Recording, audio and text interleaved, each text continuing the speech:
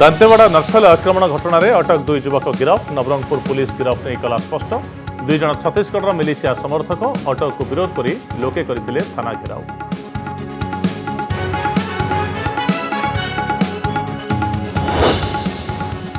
ରାଜ୍ୟରେ ଚାଲିଛି ପଛୁଆବର୍ଗ ସର୍ଭେ ଉଭୟ ଅନ୍ଲାଇନ୍ ଓ ଅଫ୍ଲାଇନ୍ରେ ଲୋକେ କରୁଛନ୍ତି ପଞ୍ଜୀକରଣ ବିଜେପି କହିଲା କେନ୍ଦ୍ର ତାଲିକାରେ ଥିବା ଚଉଦ ଜାତିକୁ ହଟାଇଛନ୍ତି ରାଜ୍ୟ ସରକାର କେମିତି ହେବ ସଠିକ୍ ଗଣନା ଉଠାଇଲା ପ୍ରଶ୍ନ ଜବାବ ରଖିଲେ ମନ୍ତ୍ରୀ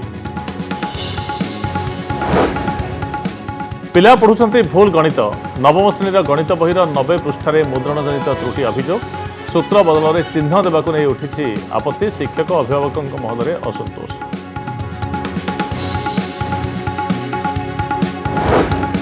ବିବାଦ ଭିତରେ ପୁଣି ଆଧିପତ୍ୟ ଜାହିର କରିବାକୁ ଆନ୍ଧ୍ରର ଚେଷ୍ଟା କୋଟିଆ ଗସ୍ତରେ ଆସୁଛନ୍ତି ଉପମୁଖ୍ୟମନ୍ତ୍ରୀ ରାଜନ ଦୋରା ଗସ୍ତ ପୂର୍ବରୁ ଦୁର୍ବୃତ୍ତ ଖୋଳିଦେଲେ ରାସ୍ତା କିଏ ଓ କାହିଁକି ଖୋଳିଲା ତାହା ଅସ୍ପଷ୍ଟ ଅଛି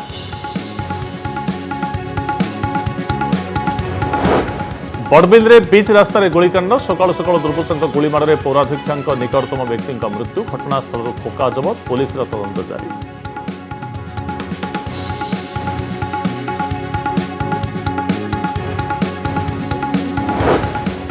ঠকতান্ত্রিক মৌলানা কেফ খাঁ বিরোধে পুঁ জন মহিলা আনলে ঠকেই অভিযোগ পারিবারিক সমস্যার সমাধান নেই দশ লক্ষ টঙ্কা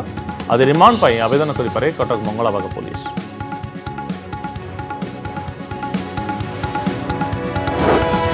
নন্দনকানন রোপওয়ে চালু পূর্বর মকড্রিল অঘটন ঘটিলে কেমিতি করা যাইপারিব উদ্ধার কার্য ডেমো দেখাইলা এনডিআরএফ টিম